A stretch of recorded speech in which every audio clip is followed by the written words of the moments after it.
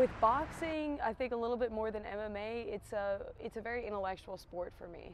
It is a big strategy game. You know, if you're not big enough, if you're a 125 pound girl like me, you're not big enough to throw haymakers and knock somebody out.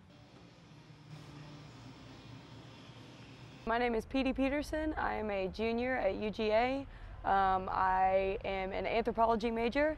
Um, I work as a personal trainer, body pump instructor, and boxing coach at the Ramsey Center at UGA, and I also work as a boxing coach at Kepner Boxing.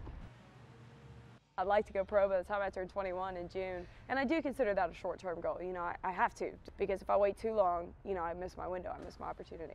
You know, and that's it's kind of a, between my coach and I, um, that type of decision. So he's looking for me to have, you know, all the necessary experience.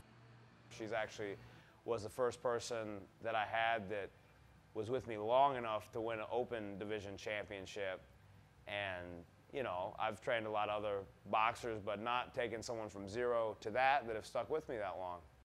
Her willingness to do what she needs to do to get to where she needs to be is what sets her apart from most everyone that I've trained. A lot of you know my work right now is I just got to get there. I got to get in the limelight. I got to work as hard as I can to become pro so that I can then start building this name and this reputation.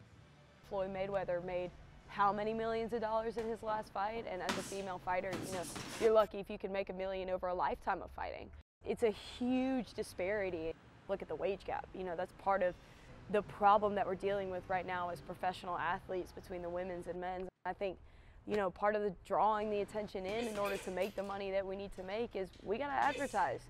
Like look i can look like a girl and also be a really good athlete. I need you to respect me for both